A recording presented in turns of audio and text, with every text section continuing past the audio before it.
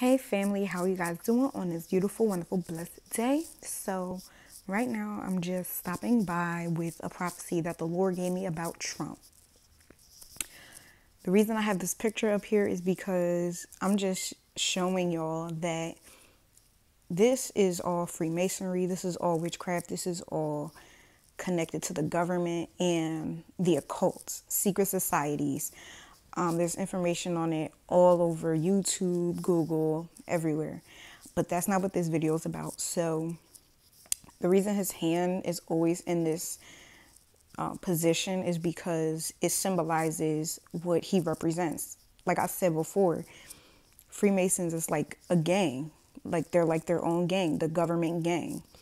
So, yeah, he had to make some sacrifices to get to where he got to, along with those other Freemasons. But the Lord told me he is going to be assassinated, it is going to be planned, and it is ritualistic.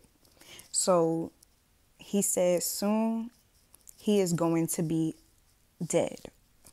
It's going to be an assassination, and of course, they're going to make it seem like they don't know what's going on and make up some type of story to cover it up, but this is going to happen soon.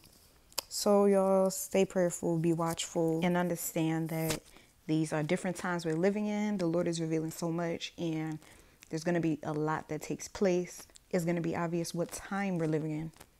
So, yep, stay woke, don't sleep, don't slumber in this hour.